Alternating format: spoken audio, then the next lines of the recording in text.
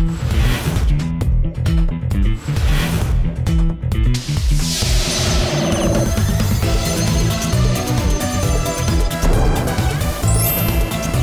าสคีเวทีแจ้งเกิดร้องถล่มดาว ยินดีต้อนรับเข้าสู่รายการมาสเตอคีอีกครั้งหนึ่งค่ะ ต่อเนื่องจากเมื่อวานนี้ เป็นคุณใบเตย ที่ขอมาท้าถล่มดาว แต่น่าเสียดายที่ในเพลงแรก เธอไม่สามารถเอาชนะได้ วันนี้มาดูกันว่า คุณใบเตยจะสามารถร้องถล่มดาวได้ไหม ไปชมกันได้เลย มาคุยกันต่อ หลังจากงานวงดนตรีเห็นบอกกลับไปเป็นแม่ค้าใหม่ใช่ค่ะ ทำอะไรคะขายอะไรคะ ก็เริ่มจากขายหอยขายตอนแรกขายออนไลน์ก่อน ขายในเฟซกลุ่ม เครือข่ายคนรักผักไห่ อะลงไปแล้วคือเราก็วิ่งมอไซค์มีมอไซค์ไปขาวคันหนึ่งก็คือ ขับวิ่งไล่ส่งตามบ้านแล้วหนูตะโกนร้องอะไรเก่งไหมหนูตะโกนร้องหนูขายอะไร ขายหอย ขายหอย หอย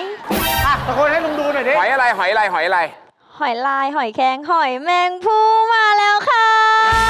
หอยแมงภู่มาแล้วค่ะเอ๊ะแล้วจริงจริงๆเหรอขายหอยจริงๆเหรอ ก็ใช่ค่ะ ขายหอย ตอนแรกขายหอยก่อนแล้วก็มาขายอย่างอื่น ค่อย ๆ พัฒนามาเรื่อยคุณตั๊กถ้าคุณตั๊กเป็นแม่ค้าขายหอยคุณตั๊กจะประกาศอย่างไร หอยมาแล้วค่ะ หอยตักมาแล้ว หอยตัวใหญ่ๆ ไม่มีขนด้วยค่ะ ไม่มีขนด้วยค่ะ เอาขนออกให้แล้วด้วยค่ะ มาเลยค่ะอ่า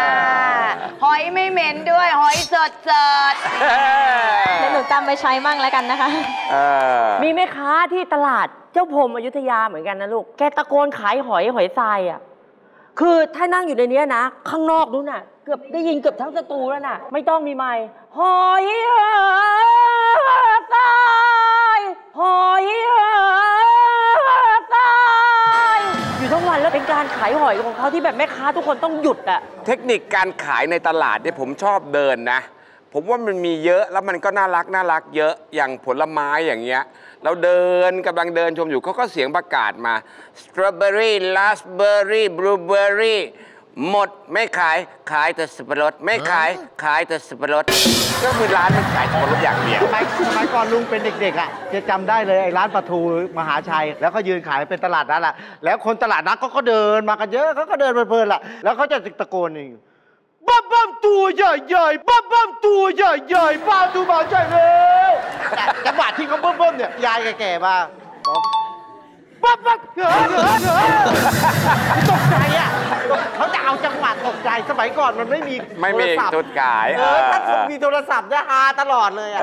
แคนดิดแคนดิดมันเป็นแบบเทคนิคเทคนิคการขายเทคของนิคการเขายเนื้อทอดยังไงครับคุณดาวไก่ทอดเนื้อทอดจ้าร้อนๆจ้าเพิ่งตากแดดมาเดินถามน้องเขาต่อก็ได้มีง้อไงง้อโรงเรียนอะง้อโรงเรียนมันจะชอบพูดใส่ไม้ไง ง้อโรงเรียนจะง้อโรงเรียน ง้อโรงเรียนจะง้อโรงเรียนผมก็ออกไปปุ๊บโอ้โหนักเรียนเต็มเลยอะนักเรียนเต็มเลยอะเออเอาอะคุยกับน้องต่อเดี๋ยวเบามากเฮ้ยคุยกับหนูดีกว่าค่ะ จนกระทั่งมาเจอพี่ในเฟซอะค่ะ โพสต์ขายหอยแครง เราก็เริ่มมาหอยแครงแล้วอะแล้วก็โพสต์ว่ารับออเดอร์หอยแครงเปิดพรีออเดอร์อย่างนี้ ก็ได้ออเดอร์มาพอคุยกับเขาตกลงแล้วว่าวันอาทิตย์นี้เอาของมาส่งให้ตกลงกิโลจำนวนตกลงราคาเรียบร้อยแล้ว ถึงวันที่ของจะมาถึงเราและเขาก็โทรมาบอกว่าหอยแครงไม่ได้เลย 200 โลอะไม่ได้เลยสักโลเดียว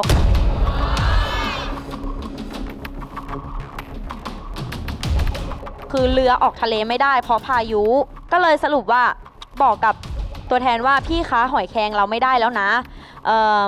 เรือเขาหาของให้เราไม่ได้ทีนี้โดนตัวแทนด่ายับเลย เอาขายไม่ได้ไม่มีคนมาส่ง เปลี่ยนเป็นขายอย่างอื่นอีกไหม ไม่ค่ะ คือเอาใหม่ยกเลิกออเดอร์เก่า แล้วก็โพสต์ขอโทษลูกค้าเขา แล้วก็เปิดรับออเดอร์หอยแครงใหม่อีก แต่ทีนี้เราไปหาเจ้าเองเป็นหอยแครงเลือด มาขายเอง ใช่ ไปได้หอยแครงเลือดมาขายเป็น ทีนี้เป็นหอยแครงเลือดมาเล เราก็รับมาแล้วก็โพสต์รับออเดอร์ ทีนี้มีกระแสตอบรับประมาณ 20 โลได้รอบแรก จนขายจนถึงทุกวันนี้อะค่ะ อะ อย่างนี้มันเป็นหอยอะไรคะ เป็นหอยแครงขุย เป็นหอยแครงทะเลน้ำลึกค่ะ ที่ไม่นิยมทานใช่ค่ะ เพราะว่ามันแกะไม่ออก แกะยากใช่ จะกินหอยแครงนี่มันต้องกินง่าย ใช่ค่ะไม่อร่อยด้วย ไม่อร่อยด้วยเหรอครับ ไม่อร่อยค่ะ เนื้อคาว อ๋อเนื้อจะคาว อะ อันนี้เป็นหอยแครงมาเลเลือดอันนี้หอยแครงมาเลเลือด ที่หนูเอามาขายเป็นตัวนี้เป็นหอยแครงเลือดมาเลตัวนี้เลยค่ะอ๋อตัวนี้เลย ใช่ราคามันจะย่อมกว่าหอยแครงบ่อไทยนิดนึงขนาดละหนูตัวมันใหญ่กว่าไหมมันมันมีหลายไซส์อะค่ะพี่เออ่านอกจากหอยแล้วมีขายเลยครับใบเตย ตอนนี้ที่ลงตลาดนัดเลยนะคะ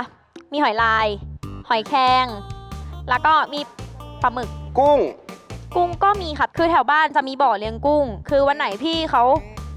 ล้อมกุ้งอะเขาก็จะบอกเรา กุ้งใช่ ขาวเงี้ยเหรอลูกกุ้งขาวกุ้งกำกามแล้วแต่บางวันค่ะอ่าอันนี้ก็จะเป็นปลาหมึกดำจะเป็นมีแบปบลาหมึนี้กดำปลาสด ปลาสดมีปลากระพงค่ะ ขายเป็นปลากระพง แล้วถ้าอยากสั่งสั่งไงอะ ก็คือว่าสั่งทางเฟซบ้าง บางคนก็โทรมาบอกแม่บ้างอะไรอย่างเงี้ยค่ะ แต่ส่วนมากแล้วหนูอะจะไม่วิ่งส่งตามบ้านแล้ว คือพอเราขายตลาดนัดแล้วเราก็วิ่งแต่ตลาดนัดอย่างเดียว มันก็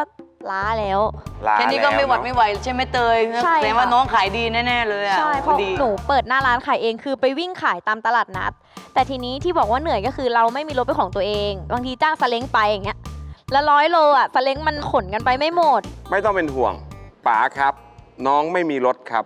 จดบัญชีมาให้ลุงไว้ไว้ เฮ้ยถ้าอยากมีตังค์ใช้มีเฮ้ย คอนโดไหมไหมเฮ้ยอยากได้กระเป๋าเฮ้ยแบรนด์เนมไม่ซ้ำใครเฮ้ยหรืออยากไปปารีสก็บอกลุงนะโอนว่าเฮ้ยใหญ่ใหญ่อะเพลงใครอันนี้เพลงใคร เพลงลุง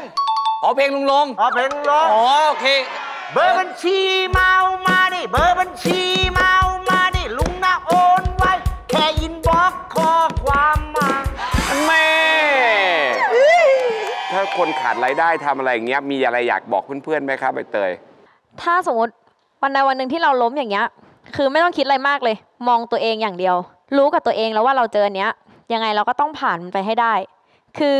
เราทำดีอะยังไงเราก็ต้องได้ได้ดี คือพึ่งตัวเองอะคือมันดีที่สุดแล้ว ก็คืออยากจะบอกเพื่อนๆว่า อย่าท้อให้เจออะไรก็คือสู้กับมันเถอะสู้กับมันทุกอย่าง ตนเป็นที่พึ่งแห่งตนจริง ๆ อันนี้ก็เป็นข้อคิดฝากเอาไว้ให้คนมีกำลังใจในการสู้ต่อไปกับภาวะที่เกิดขึ้นในประเทศไทยตอนนี้นะครับ เอาละครับ มาถึงเพลงที่2ใบเตยขา เพลงที่2จะเอาเพลงอะไรมาสู้กับเขาคะแต่งงานกันเถอะค่ะ แข่งกับใครดีอะพี่มินป่ะ พี่มินป่ะ เอาเอาเอางี้ให้ให้ครับผู้หญิงอันเจนี้อกับผู้หญิง ของมิ้นยังไม่ต้องแต่งงานเพราะขอเป็นโปรดส่งใครมารักฉันที